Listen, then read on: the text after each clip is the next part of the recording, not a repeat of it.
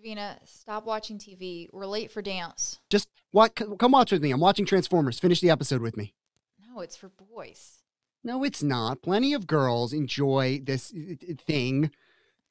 Stop. There is no more boy show than Transformers. It's about huge machines and cars secretly being muscly superhero robots. The only way it could be for girls if those robots were secretly underneath that a cute mushroom kind of people who felt like their skincare routine and beauty was way too delicate for this world. Is that a plot point? No, but No, uh, there are girls. uh, There are girls who watch this. Stop. That means that some girls like Transformers despite it being a boy fest, hence meaning they are confident in their taste. I missed the whole ending.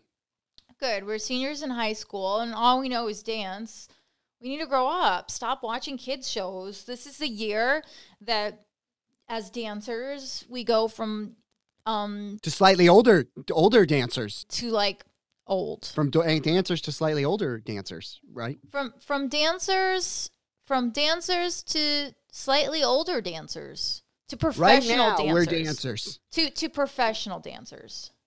I don't think that's what you mean to say. Okay, older people know more words. I'm getting a word of the day thing. Calendar. No, like an app. No, calendar, li- like an app. I'm not going to get a calendar. Why?